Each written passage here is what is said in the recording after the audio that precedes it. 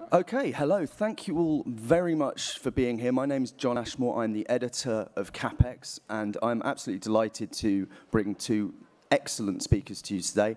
Uh, on my left is Professor, uh, Dr. Frank Luntz, who By the is way, a. I, I resent that. I have never been on anyone's left, just so you know. Okay. Physically on my left, uh, Dr. Frank Luntz. Uh, I'm sure most of you know who Frank is. He is a superstar of the world of polling and political communications. He's worked on campaigns all over the world in his native United States, in Australia, the UK, Ireland, and on Boris Johnson's campaign for the Oxford Union back in the late 80s. So he's uh, extremely insightful and extremely well connected, and I'm sure we'll have plenty of interesting thoughts on the state of um, British politics and, and culture. He is a visiting fellow at our parent organisation, the Centre for Policy Studies, and has done a huge polling project earlier this year on the attitudes uh, and political language uh, of the UK. So we'll look forward to hearing more from that, on that from Frank. On my right is Professor Matt Goodwin. Matt is Professor of Politics at the University of Kent and a Senior Fellow at the Legatum Institute.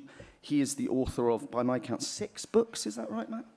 And he has another one coming out uh, early next year uh, with Penguin. Um, I would also encourage anyone who isn't already following uh, Frank and Matt on Twitter to do so, um, because they both have plenty of excellent things uh, published on there. Right. Uh, in terms of the format, yes, sorry. Can we, you guys, there's so many people back there. there are. If you guys, and you're going to have to move briefly, and they can get around here, right up on the sides where you see the Center for Policy Studies, those logos, if you want to bring 15 people forward, you can stand over there and you're not going to be jammed. Don't be shy. Be able yeah. to see. I should have, yeah, I should have added from our previous events that as well as being a pollster and comms expert, Frank is also an expert on crowd control. Uh, By the way, this is building back better. I want you to have better seats. so you guys can stand against the wall, and we can put people against this wall here as well. So another 15 people can come forward, and you just stand against that wall there. Give them space so they can cut through.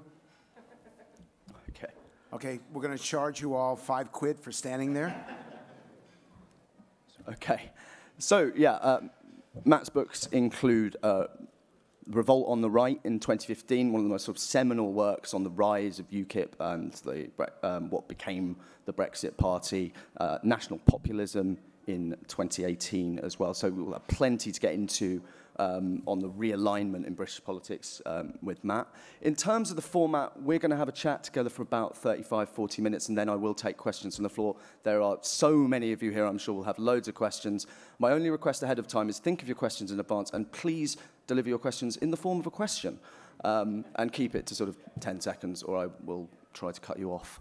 Um, right, Frank, to kick off, you came to the UK because you were kind of tired of the intensity and ferocity of the culture wars in your own company, uh, country. What is your assessment of where we are now in the UK compared to the United States in terms of that kind of division? You're in so much better shape in the UK than the US, and it is my single greatest fear. I went to Oxford, and I hated every minute of it, 84 to 87. I really did, because the, the Brits were not, not nice to me. I was very much a supporter of Reagan. I was very much a supporter of Thatcher. And at Oxford University, they hated Margaret Thatcher and they despised Ronald Reagan. And so for me to be back now and absolutely loving every minute of it and appreciating the country and the people, I want to make this clear so that no one misunderstands, those of you who are watching at home. The United Kingdom is a great country. You are great people. You've nothing to apologize for. In fact, the world owes you a grat of gratitude for the democracy that you created, for the economy that you created, for your values that you spread across the globe. I am thankful and I'm glad to be here.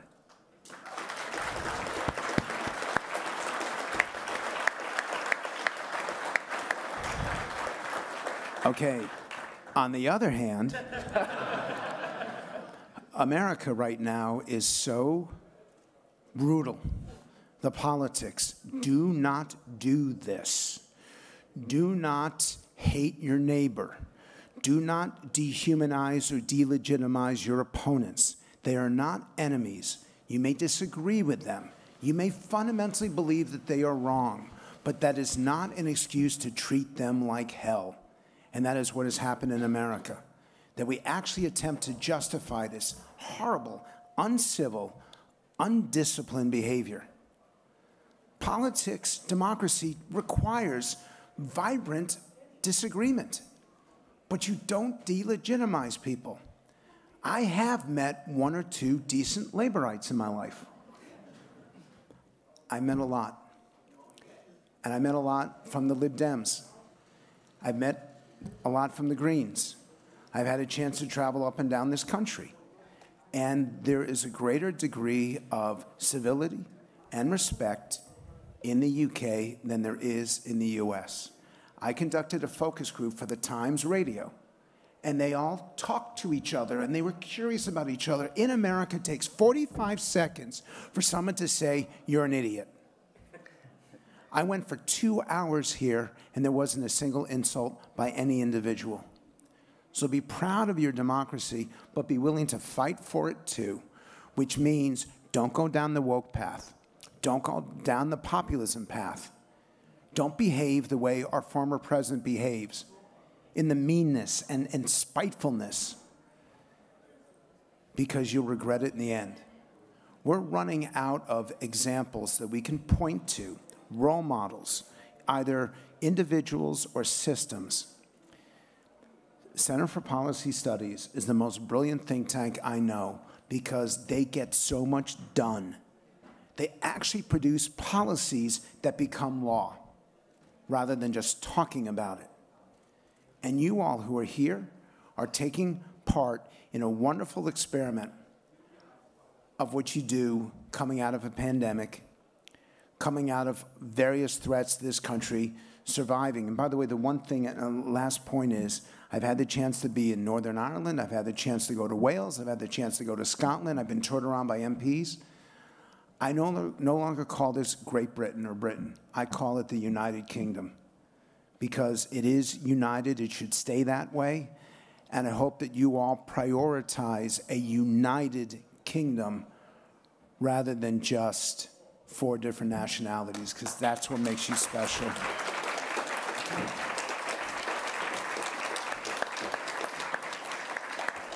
some excellent points there, Frank, particularly about how great the CPS is. Um, Matt, I think Frank strikes quite an optimistic tone there, uh, note there, in the sense that we're not uh, a mirror of America's culture wars. But one thing we have seen here is a similar kind of realignment of party support. And how much, how analogous do you think what's happened in Britain over the last sort of 10, 15 years is to what happened in, in the States with the, the change in report, uh, support for the Republicans? Yeah, well, thank you, uh, firstly, to CPS for arranging uh, this great event. The way I would uh, say it is that we are definitely on the same road as America, but we are a few miles behind.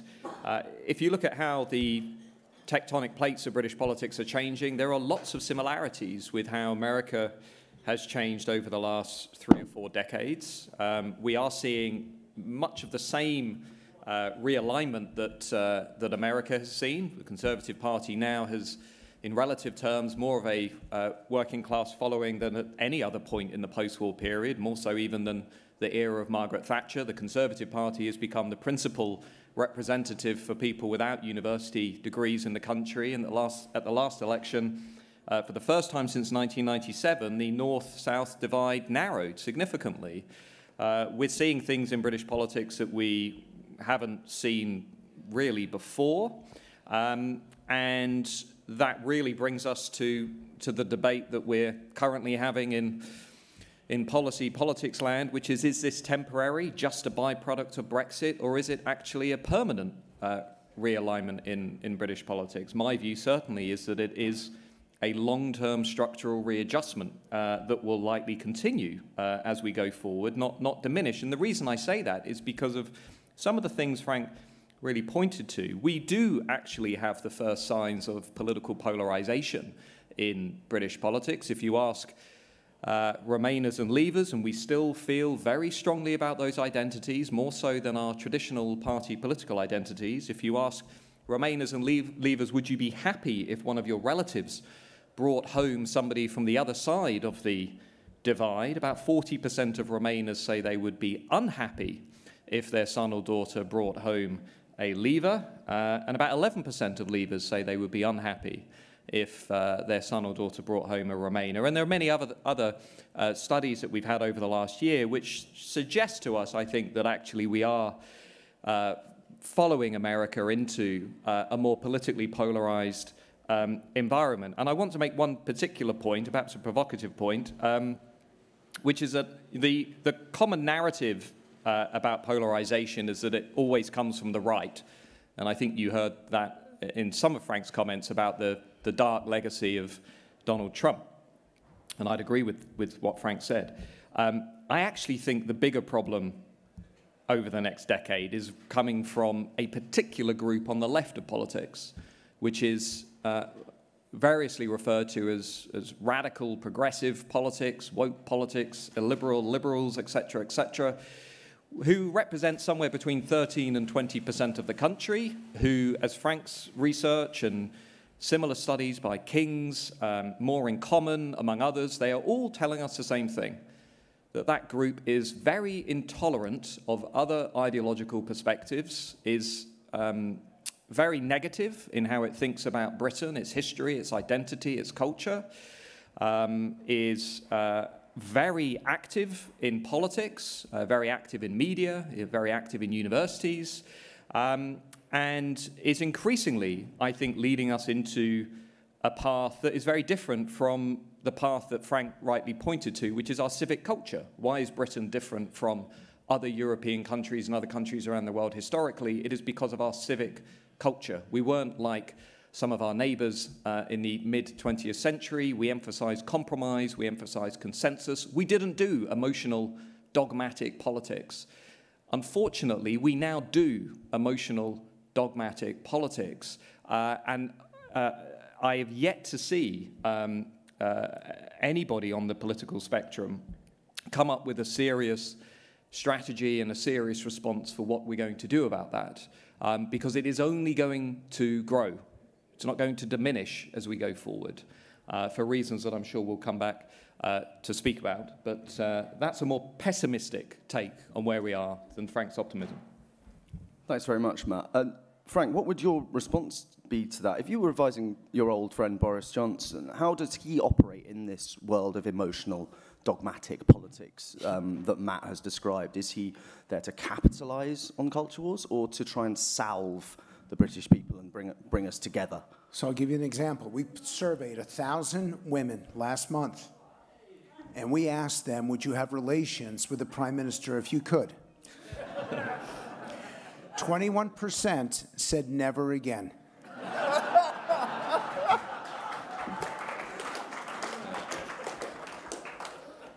As I said yesterday, we have a new definition of chaos Father's Day at 10 Downing Street. Uh, he's, he's brilliant. He's brilliant because he's different. I watched it yesterday. I was at the Scottish uh, event last night. By the way, the biggest difference between the US political system and the British political system, I don't know how you guys are up this morning based on what you drank last night.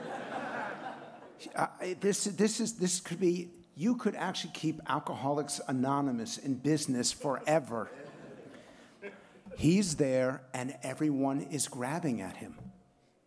I couldn't imagine people grabbing at Jeremy Corbyn except to push him off a cliff. Uh, everybody wanted their selfie with him. Everybody wanted to touch him.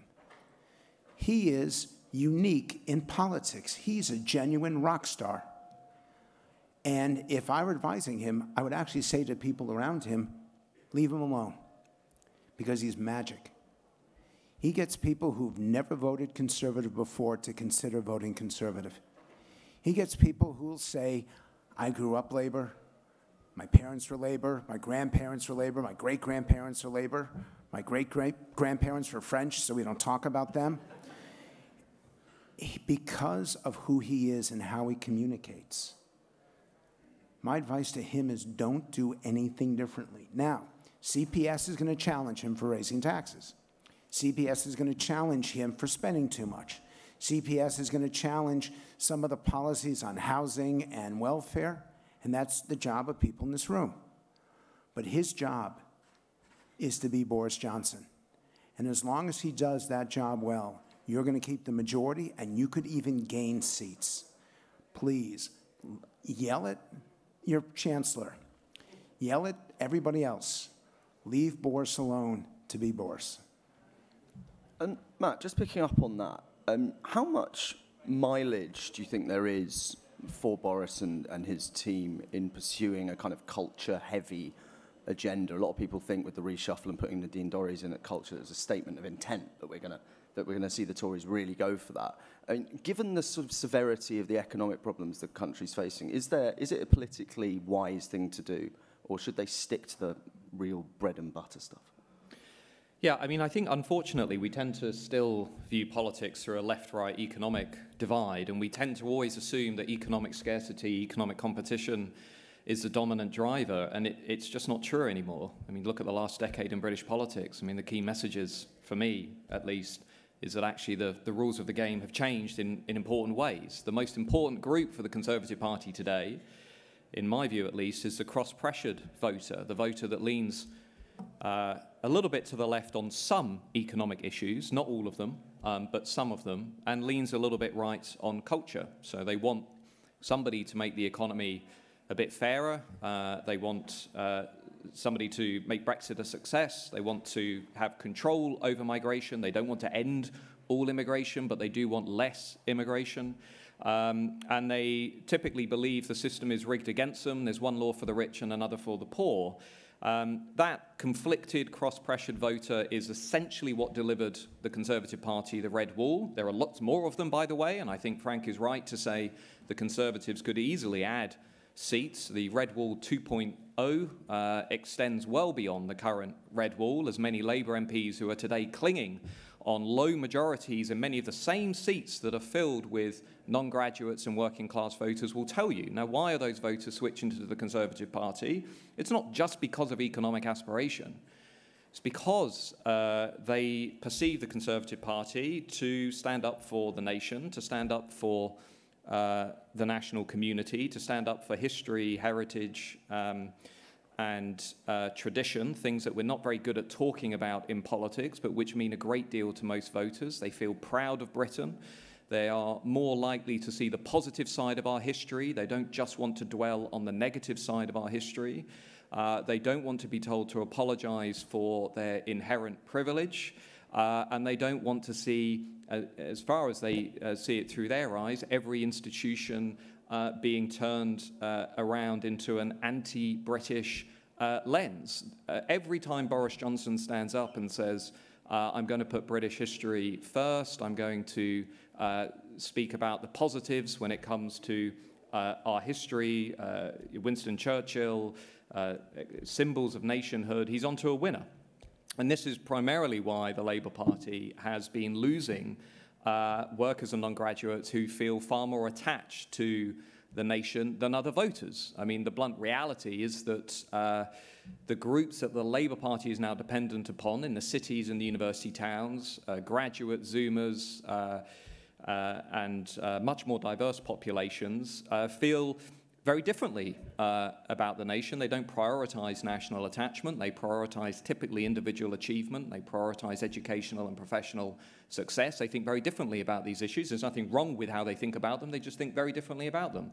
And so the Labour Party's problem is it's sort of been stacking up votes in areas where it doesn't need votes and losing votes in areas where it needs votes. And in those areas, you've got lots of voters who care deeply about the country and they want Britain to succeed. They don't want to wake up every day and be told about you know, how crap the country is or what's going wrong.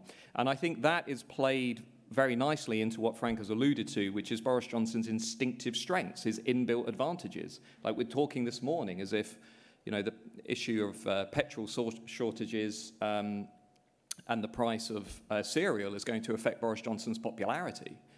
Um, I personally don't think it is going to. I think the, the more that voters instinctively believe that he is leaning much more towards seeing the positive side of the country, uh, then I think he's going to be uh, onto a winner. And just for a last point, and this perhaps segues into something that Frank showed in his research. I was struck by the finding, Frank, in your survey uh, when you looked at Labour voters and um, the sort of liberal left side of the spectrum, uh, the extent to which feelings of shame and pride differentiate voters on the left of the spectrum and voters on the right. Um, and I think this is one of the primary challenges facing the Labour Party and other left-wing parties across the country, across the world. And we've seen it in the US. The reason Biden didn't get a big majority, and I'm sure you'll come on to this, I think is because the progressive left alienated a lot of voters, including African American and Latino and Hispanic voters. And where does that leave politics going forward? Because I'm cl clearly of the view that the pro-anti-nation axis is now going to become much more important in politics than it, than it has been uh, in recent years. And to take that one step further, you have an opportunity, and I have not seen it so far, and I'm watching for it, which is there are two different Labour parties right now. There's the Labour Party of London, and there's the Labour Party of the North. And the Labour Party of London keeps telling the Labour Party of the North, you're privileged. You're, you, you got all these great advantages, and they're looking and saying, where? What have I got? You can't show it to me. And I believe that if the conservatives start talking about London labor, that will pull away some of those final people in the North who are trying to decide where they want to go. It's social, it's cultural, not just economic, but the difference between London labor and the rest of labor is night and day. And I'm waiting to see the conservatives jump on that. Second, as far as Joe Biden, Joe Biden is so old it takes him an hour and a half to watch 60 Minutes. this guy is so old. His favorite painting is The Last Supper. If you look carefully, he's the second waiter from the left. Biden is so old, the only time he doesn't have to pee is when he's peeing. That one's my favorite, by the way. The, the challenge and, and the warning is that to define yourselves by what you're not got you to 219, got you to, uh, tw- sorry, 2019. To define yourselves by what you are takes you the final step, get you to a majority that they can never close. You can say who you're not. You can criticize socialism. You can criticize the Labor Party leadership. I think Peter Mandelson is one of the best strategists I have ever met anywhere. And he came up with the, with the, the statement lose, lose, actually, it's lost, lost, lost, Blair, Blair, Blair, lost, lost, lost, lost. 10, I consider that a loss. 15, 17, 19. He's right. But that's not good enough for you in this room. I assume you still want better. And the way that you get to better is by telling people what you are for and by changing them. Don't indoctrinate them. That's a labor approach. Labor tells you what you should think the conservatives should empathize and communicate, but not try, to indoctrinate. I know you're going to jump in. Build Back Better should not be a slogan, it should be a commitment. You make it a commitment, and you will never lose the majority. I am going to jump in. Um, that's, I mean, Tory conference is not normally the place I go to for strategy advice for Labour, but Matt, what would you say? I mean, they, they seem to me so far off the pitch at the moment. But, it, I mean, is there a route back for them at all? Do they need a total revamp? Uh, well, they're not going to win the next election. Um, the strategic, structural problems are too great. Um, the blue wall isn't anywhere near big enough. Uh, about 20 seats, maybe 20, 30 seats in the blue wall. But as they win those seats, it's likely we'll see a continuation of the realignment across much of northern England and the Midlands. We've already seen, I think, at this conference, Boris Johnson trailer the, um, uh, the crackpot coalition line uh, that if you vote Labour, you'll, you'll get Labour in the SNP, um, which, as we know from 2015, was very devastating because uh, that line mobilises England. Uh, the Labour Party has not won the popular vote in England since 2001. England is a different galaxy for the Labour Party. Outside of London and the university towns, the Labour Party doesn't know what to do with England, it doesn't understand uh, England, has never really known uh, how to relate to, to England in recent political history. And it's the, it's the predominant challenge facing the Labour Party. How do you win back those voters? There is no path back to power for Labour that doesn't run through England. Uh, so it's very, very difficult. And many Labour strategists tell themselves that actually the Conservative Party is now dependent upon old white people who don't represent a future coalition. I remember Stan Greenberg in the US telling me the exact same thing before the Republicans won in 2016. Uh, the average age at which you become more likely to vote Conservative in the UK at the last election dropped from 47 years of age in 2017 to 39 years of age in 2019. And the lesson from the last US election as well is that coalitions change.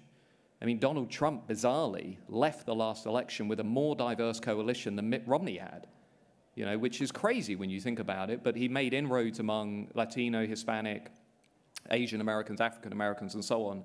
And many, many voters uh, having instinctively conservative views on issues like crime, which again is becoming more relevant in British politics as well. So I think, you know, the coalitions change too, and not in a way that, that may instinctively help the Labour Party. But more fundamentally, like, than any of that, I, I still think deep down that social democracy was fundamentally built for the 20th century when the primary conflicts were economic. It was about the economy, it was about public services. And I'm not saying it's the end of the road for social democracy, because you can see in countries like Germany where there is some sort of coalition between the centre left and the Greens, or the centre left and Lib Dems, and so on, that you can cobble together. But the, the foundations for social democracy have simply become much, much weaker uh, than they once were because voters don't just want to talk about cost of living. They don't just want to talk about the economy. They want to talk about all of these cultural issues, which is why Brexit went the way it did. It's why the Conservative electorate looks the way that it that does at the moment. So I think the advice for the Labour Party is, is stabilise internally, get through the next election, um, and then somehow start to reboot uh, the message for these voters that don't look like um, Hampstead and look much more like Hartlepool. Um, if you're waiting around for the Zoomers and the graduates to bring you to power, you're going to be waiting about 20 years. And we, we forget this. Only a quarter of the country have a degree, right? I mean, the, the, the demographic uh, tide argument is a long term argument. It's a generational argument, and it's not even one that is guaranteed to deliver election success. I remember my colleagues in political science making the same argument in 1950 that the Labour Party would dominate the post war period because of the demographic changes that were happening. And I think it's, there are no easy answers for the Labour Party. I'd like to say go look at Denmark and become a little bit more culturally conservative, but Labour activists will never allow that to happen. And so we end up with Keir Starmer going on television saying that actually it's wrong to say that only women have a cervix. There's no easy answers for the Labour Party. Are you guys more economic conservatives or social and cultural conservatives? I'm going to ask you to vote, and you have to choose. Do you identify yourself as an economic conservative? And we're losing the Times radio person, and this is actually, we're going to make news right now. Which is it, Carol? Yeah. so, if you're an economic conservative more than social and cultural, raise your hands. And let's do the other side. If you are, if you can't follow, then you can't follow. If you're social or cultural conservative, raise your hands. so you're still more economic than cultural. This is a CapX event, though, so yeah. it's uh, a lot of Thatcherites in. Um, the the way that labor could come back would be to return to the days of somebody like Tony Blair, but they're not going to do that. My fear, and by the way, the average age of a conservative voter is deceased, so that's another problem. I, we were polling people from 2019 literally while we were on the phone doing the interview. We were losing people; they were dying. so you got to get you got it younger. But social media is a problem here, and I'm always the doomsayer. I'm always the negative person on the panel, and I'm going to do it again. If you, if politics, and it's going to happen, continues to stay driven more and more by social media, it's going to get uglier and uglier because you are rewarded for being mean. You are rewarded for being negative. And some of you here probably don't get any of your politics from social media, but if you're under the age of 40, you're not reading a newspaper, you're getting it on the web. And it is pure poison. It is toxic. I have no solution to it. My only observation is I don't know how any democracy in the end survives what social media does to it. Thanks, Frank. Um, Matt, as well as being, you know, a political analyst, you're also a working academic, and one of the kind of the, the hub of the woke movement in the US has been universities. I mean, what's your own personal experience of working on a campus in the UK, and how, how bad do you think it is in terms of academic freedom? Well, the debate cuts in two. You either think the threats to academic freedom are a myth that are being pushed by the right to drive culture wars, which is the view of many of my colleagues, um, or you uh, share my view, which is that we have a very serious problem with freedom of speech and intolerance, not just within universities, but within a myriad of institutions. Um, a wonderful piece this morning in the Times uh, on that very issue. The Economist as well had a very good recent issue on intolerance within universities. And this, again, I think is where the US gives us, um, gives us a warning sign. Uh, if you go into higher education in the US, um, I mean, it's not over, but the search for objective truth and reason has um, certainly suffered um, a few devastating blows. Um, trust in universities among Republicans, especially, has collapsed.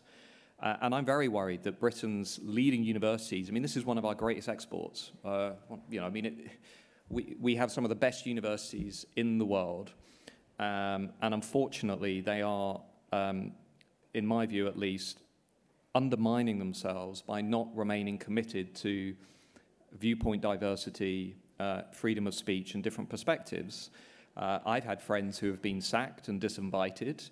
Um, the most rigorous surveys that we have, if you say, well, that's just anecdote, the King study suggests 25% of all university students in the UK are self censoring in seminars and lectures because they don't feel comfortable to share their views. The UCU, which is the main union for people like me, which denies we have an issue, released a survey showing 35% of academics are self censoring their views in uh, uh, lectures, seminars, and at work to uh, uh, because of their fear of the consequences. I could talk you through how people who accept the vote for Brexit or who hold gender critical views or who hold a nuanced view of the legacy of empire are treated.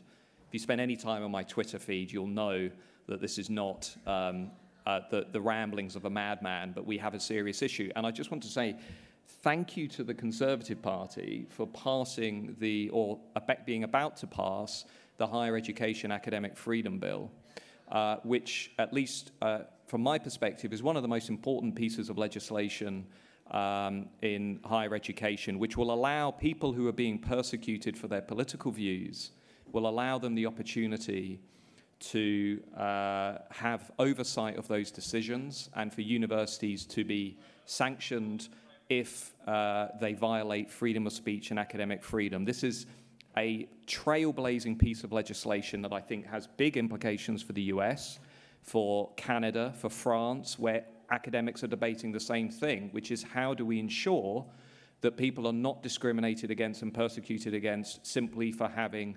nonconformist views on mainstream issues. People may say we don't want the state intervening in universities. I used to think like that.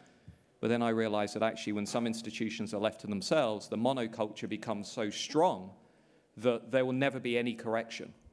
And it will just continue. And as Cass Sunstein and others have shown, when you have very strong monocultures, they just become more radical and more radical over time. Uh, and I don't want to have any more students coming into my office or colleagues coming to, to speak to say, actually, I feel that I'm being bullied, I feel that I'm being harassed, I feel that I'm being intimidated. So we have a serious issue, but I'm glad that actually Boris Johnson and the Conservative Party put that in the manifesto and are, have been delivering on it. Um, so thank you to the Conservative government for doing that. Oh, Frank, what chance do you think of uh, a similar academic freedom bill getting into law in, in the US? Not great, because the people in charge now would be against it. Um, I, you do have. You've got two of the greatest universities on the face of the earth, and they seem to be, seem to be, I have to be careful because I enjoy going up to both those universities. So I will not mention them. But I'm actually. University of Kent, obviously, is one of the two. You are, you are witnessing self censorship right here, right now. but I, I am afraid that if I was any more explicit, it would have an impact on me. Okay. Guys, we've got so many people here that I'm actually going to go to the Q&A a little bit earlier than I might ordinarily do. Um, I'm going to take them in two, so stick up your hand if you want to ask a question. I'm just going to go from the front for the sake of brevity. Um, you there, sir, and on the right there. My colleagues will come around with a mic. Thank you very much. And actually, just so you know, I would have told them to always start in the back. but that's, that's like crowd, ma- again, crowd management. The Got a front crowd get the management benefit. seminar with Frank after this. Uh, Hello, Mark Woods from Hemel Hempstead. Um, Keir Starmer's not an idiot. Keir Starmer knows all the things you've said, and he's going to try to look to the population like Blair. Do you think he can succeed? lovely short question there. okay. And you, sir? Thank you. Um, I'm Toby Williams from Witham.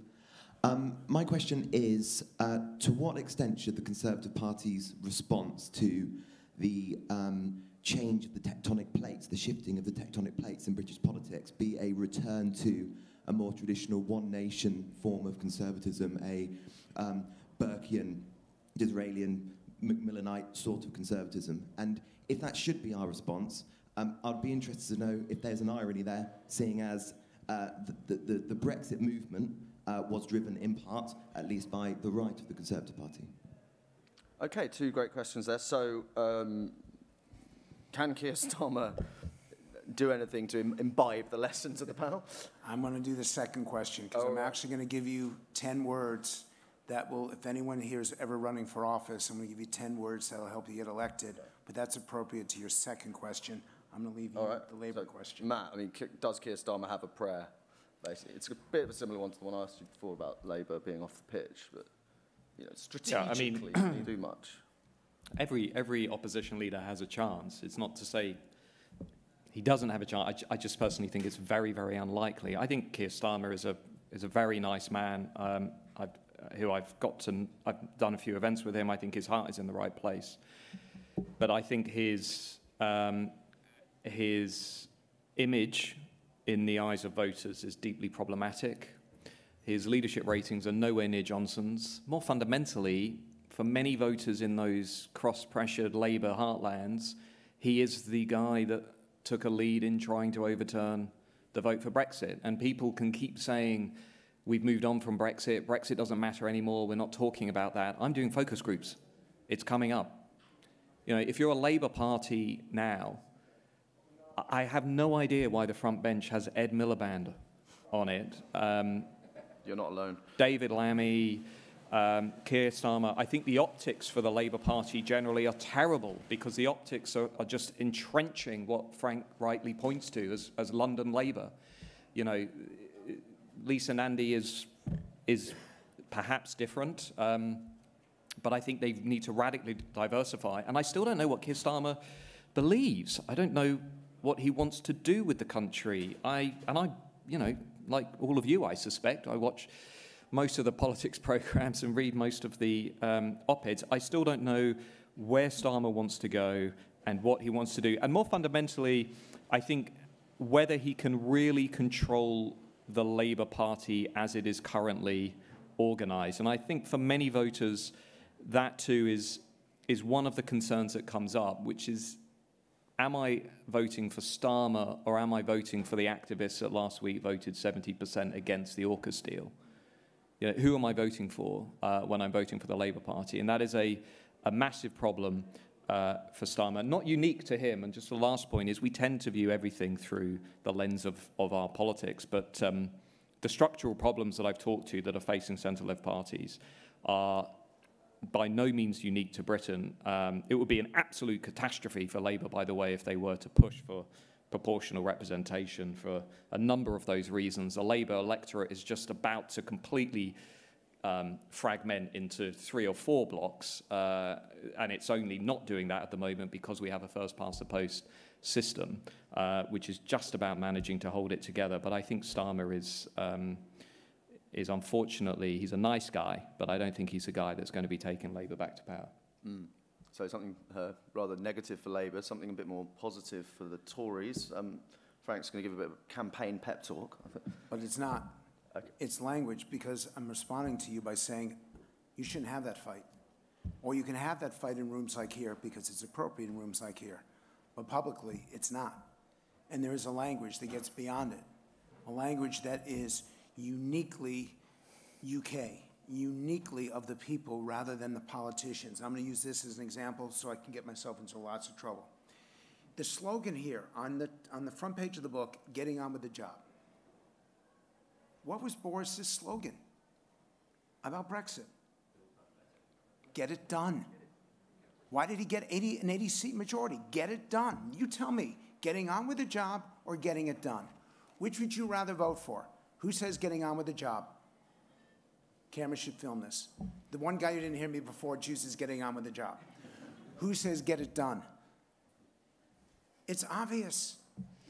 Another example, you guys talk about sustainability. Good for you for being concerned about the environment, for caring about the next generation. You're the most pro environmental of any right of center party that I know of. But sustainability is the status quo. What does the public want? Cleaner, safer, healthier er, cleaner, safer. It's better than the past. Third example this government put forward a crime initiative, a crime policy a couple months ago, talked about crime. When people hear the word crime, they think of uh, knife crime or they think of, of cops and confrontation. It should have been public safety. If you're challenging the government. You talk about crime. If you're in the government, it's about public safety because that's safe streets, safe neighborhoods, the ability to walk around at night and not be afraid. Three examples of language that's not being used effectively right here. Another example, healthy. And this has nothing to do with the NHS. Healthy schools, healthy neighborhoods, healthy families, a healthy economy, healthy workplace environment. That word healthy indicates success. It's what everybody wants. I don't hear it. I got uh, six more. Responsible. One of the reasons why they don't like politicians in this country, and it's legitimate, is that they feel that they put politics ahead of responsibility, that they put their own occupation ahead of the people they represent. So if you take responsibility or you act in a responsible fashion, you're doing exactly what voters want. Another example, the word imagine. Most powerful word in English language. If I ask you to imagine life at perfection, everyone in this room, and this room's packed, everyone in this room would have a different imagine. Instead of telling people what to think or what to dream, or how to dream, which is what Labor does, give your voters the chance to do that. Ask them to imagine the UK, the greatest success, the greatest opportunities. Let them decide. And by the way, one of the things that I should have done when I first started was to ask you a question. I screwed up. I should have put it back to you that there are so many people standing in the back of the room. What do you want to learn? A conservative MP walks into the room, gives a 10 minute presentation, and then takes questions. That's wrong. You should walk into the back of the room and open it up to them Find the people who came the furthest, who have sat down the longest, and see what's on their minds before you tell them what's on your mind. Put it in the perspective of the voters. Another surprise to me safe and secure, strong and stable. I know that was the campaign slogan of, uh, of Theresa May. Even she couldn't ruin those words.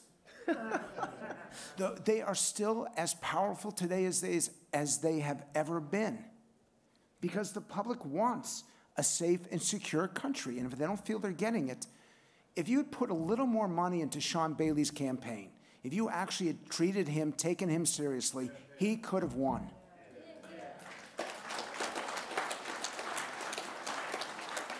And by the way, I do want to say this because I am, I don't believe in, in gender politics. I don't believe in choosing people based on how they look. I think that's where you get into trouble.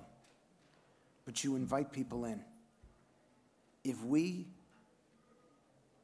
truly believe in a race blind, gender blind, income blind, opportunity blind, merit society, then you should put performance at the center of your policies. To get back to your comment, it's not whether it's Keynesian or Friedmanesque or all that stuff that no one understands except people in this room. If you earned it and you deserved it, you should benefit from it and get to keep it. So, this is language that will appeal to everyone. Please pay attention because this is how you strengthen your democracy by putting people first.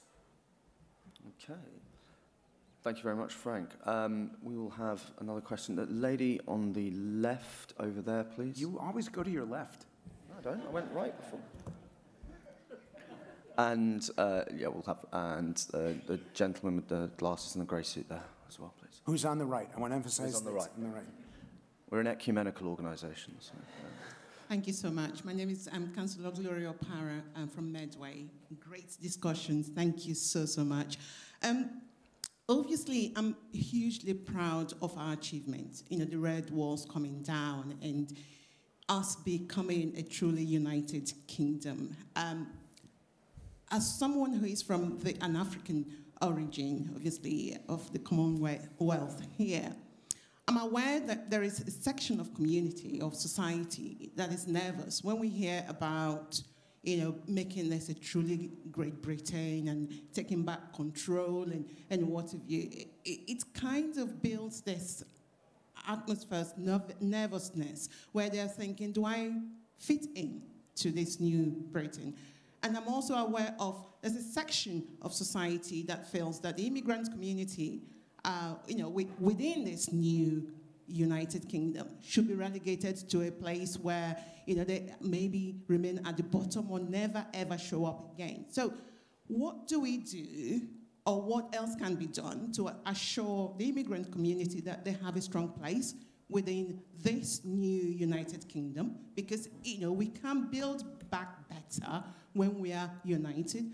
And also, what can we do to educate those sections of our society that still look at the immigrant community as though we are foreigners that should be excluded from, you know, this new United Kingdom.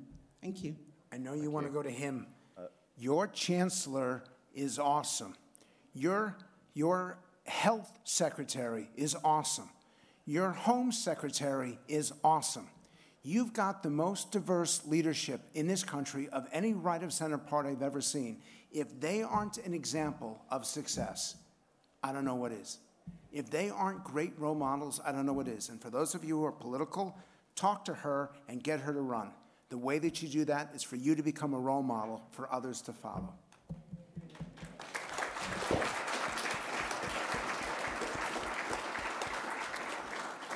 Gentleman over there.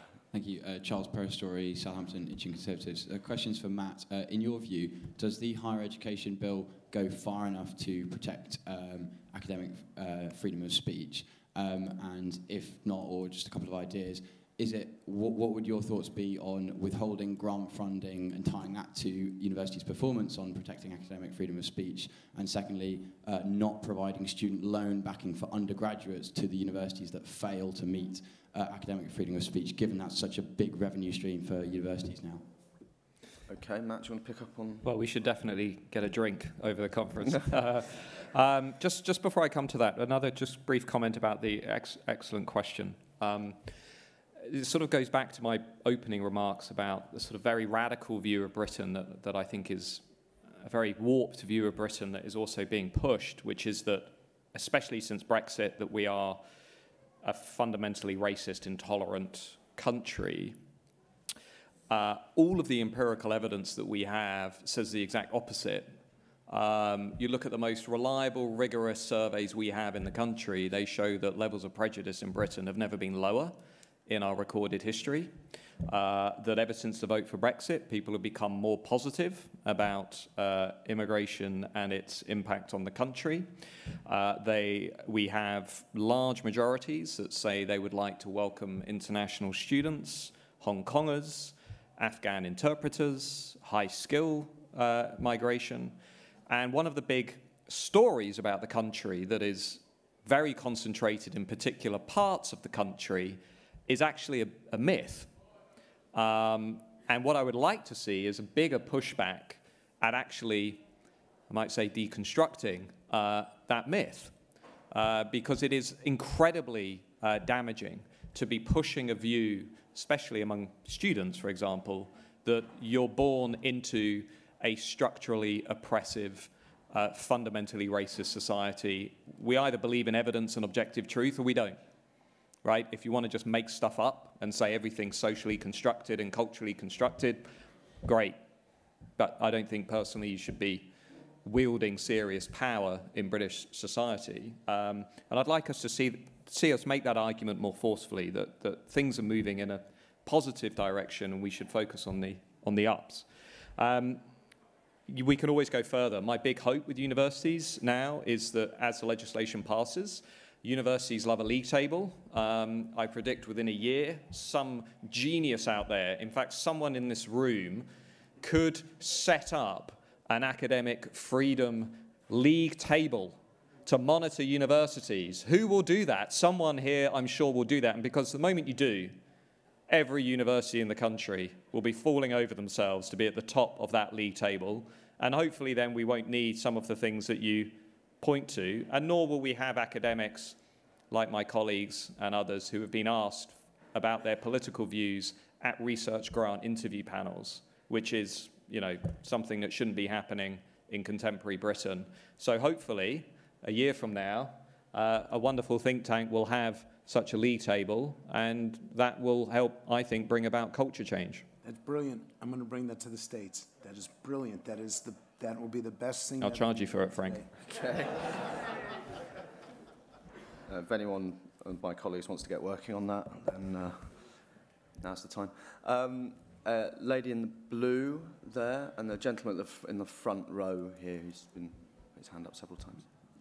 Um, you guys in the back, off? sorry, you're just going to have to come up close if you want um, to get. Gentleman in the front row can kick off with the question. Guys, I don't, I don't know if you've um, heard of her. Frank, you might have done, because if you, you've done work in Australia. Have any of you heard of the Liberal MP in Australia called Nicole Smith? She was basically treated very, very badly by the far left of the Australian Labor Party in the last federal election.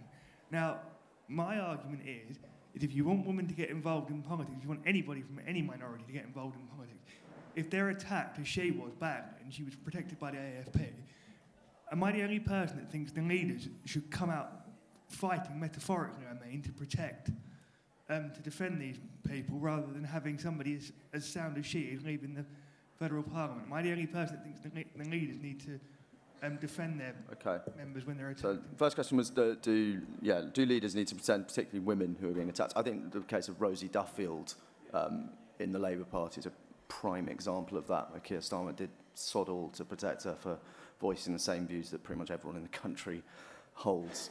Um, sorry, a bit of editorialising from me there. Um, the lady in the blue there. Hi, my name is Sophia. As you can probably tell by my accent, I'm more from Frank's side of the pond. Um, uh, I actually wrote my dissertation on populism, and a lot of the research that I read said that the personalization of politics that you see in the US because of the presidential system is a negative thing. But we talked a lot about Boris as Boris. So I was wondering if the members of this panel think that the personalization of politics and focusing on the personal aspects of our leader is a positive, and if it's not, what should we do instead?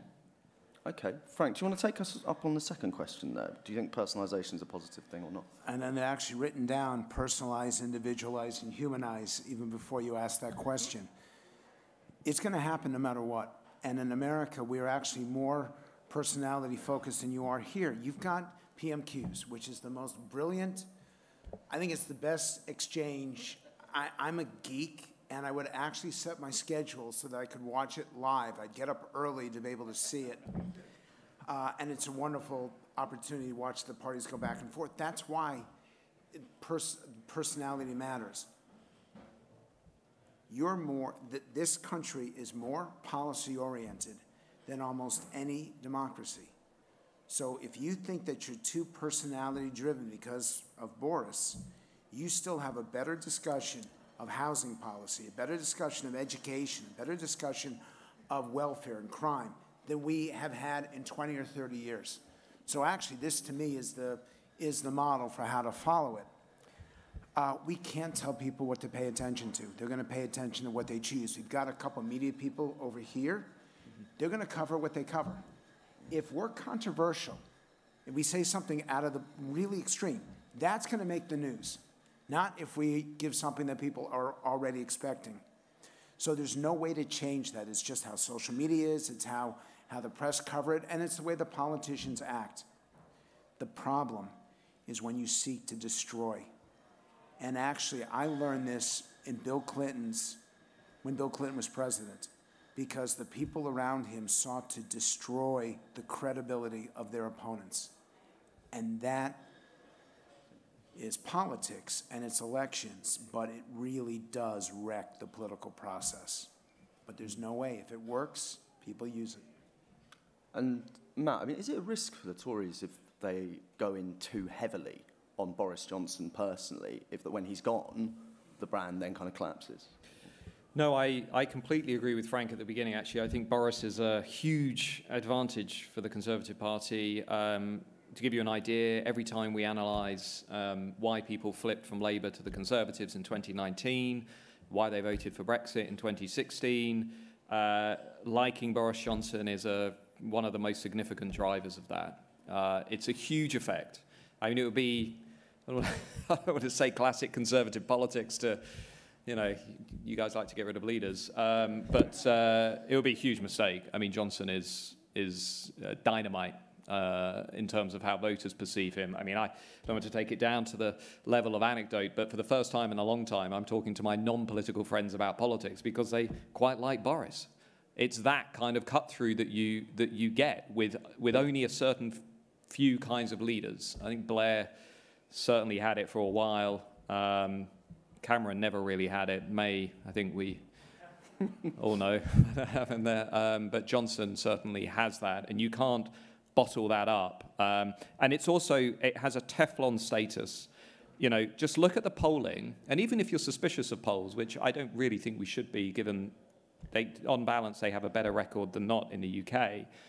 You know, we're, we're, we are not only on the cusp of the longest period of conservative rule since the early 1800s, eclipsing even the Thatcher and Major years, um, but we have had one Labour poll lead uh, in the last 200 opinion polls, um, which is remarkable. And the reason that the Conservative vote is so stable and static is not just because of the realignment and the, the cultural meshing with the, with the economic, but, but is primarily because of Johnson.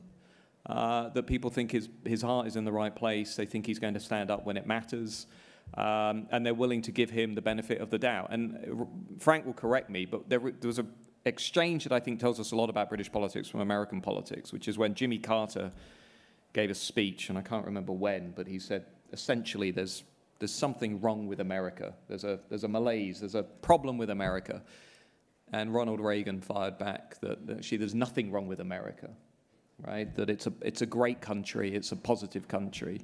And Johnson articulates that. He reflects that, uh, that, that instinctive belief that actually we should look more at the better half um, than the other half. And I think that is really what's behind his appeal. Okay.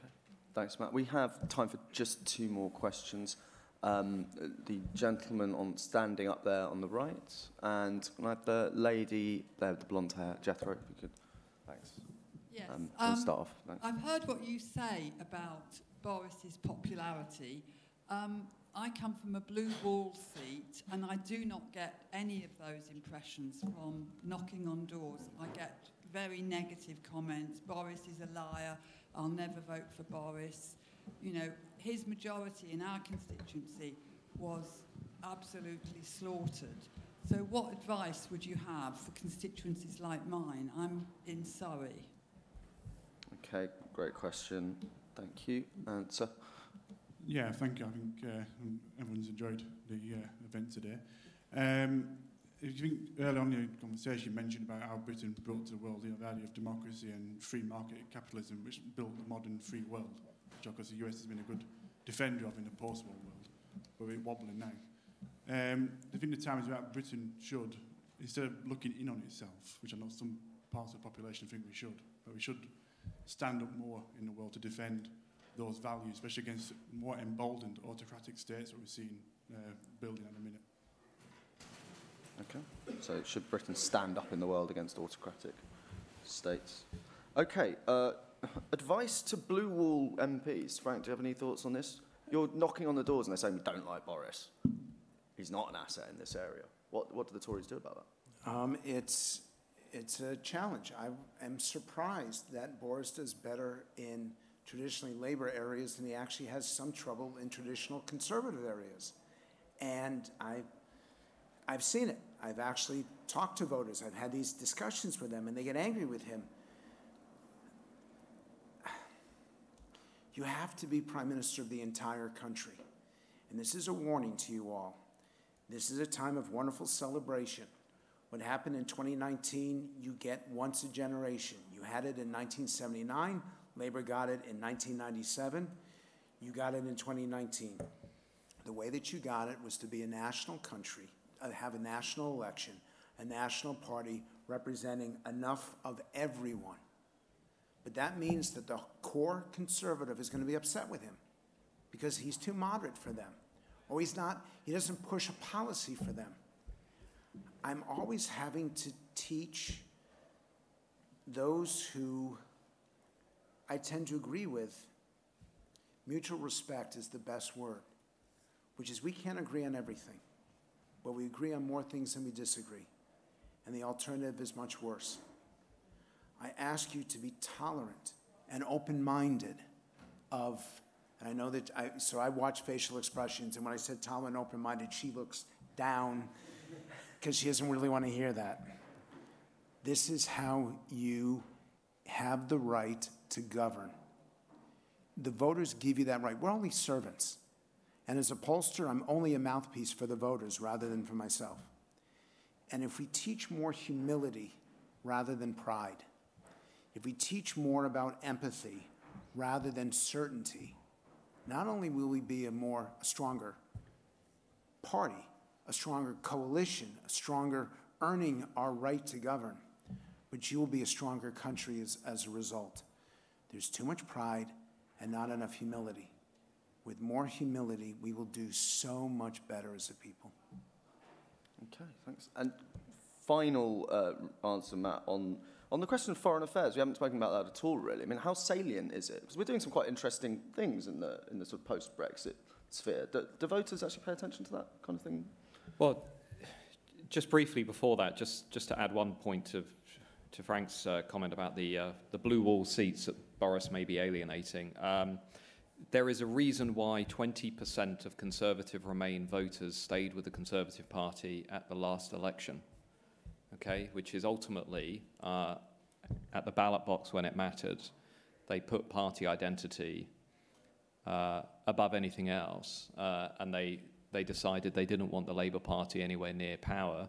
The Conservative Party, the blunt reality is if the realignment continues, the Conservative Party will lose some blue wall seats to Lib Dems, um, a couple to Labour, not many, but, but the Lib Dems on a good day can probably take somewhere between 15, 20 seats, something like that, um, from the Conservatives. But the blunt reality is that those losses, mainly among university graduates, um, middle class professionals, as we saw in 2019, are actually more than compensated for by gains in other parts of the country. Now, this is a strategic question you all need to figure out, which is what kind of party do you want to be? Do you want to try and straddle those two uh, and come up with a message for, for, for both of those areas? Or do you want to keep the foot on the pedal of the realignment and continue to swing the Conservative Party around into into those new areas of the country. And There are a lot more of those areas than there are areas where Boris is incredibly toxic and the Conservatives may lose seats. Trust me, there are a lot more of those areas.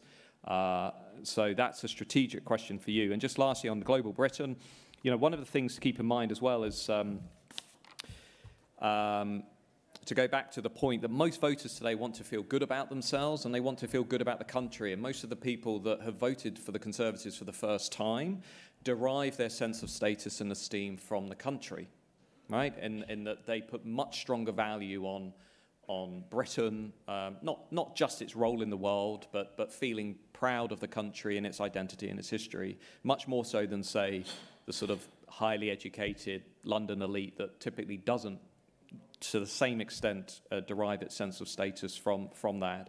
So the stuff that we've seen, you know, AUKUS, uh, the sort of talk about global Britain, Johnson on the world stage, I think helps underline some of that. I don't think the new Conservative voters are mad um, uh, inter inter interventionists, internationalists that are watching every twist and turn closely. I think they just want to see the country doing relatively well compared to others. Um, they are quite instinctively suspicious about things like international aid, not because they don't support it, but because they're not convinced it's being used in the right way uh, or has been used in the right way in the past. Um, and I think they want to scale back on some of the more ambitious uh, forms of liberal internationalism that we saw during the New Labour years. And I think there has been a sea change uh, away from that. Um, but I think, again, you know, Johnson so far is doing a reasonably good job of, of projecting that. Okay, but that's a as a rallying cry to end a Conservative event, a reasonably good job. Uh, Sorry. Guys, uh, I'd like to thank you all very much for coming. Please can we have a big hand for our speakers, Frank Luntz and Matt Goodwin.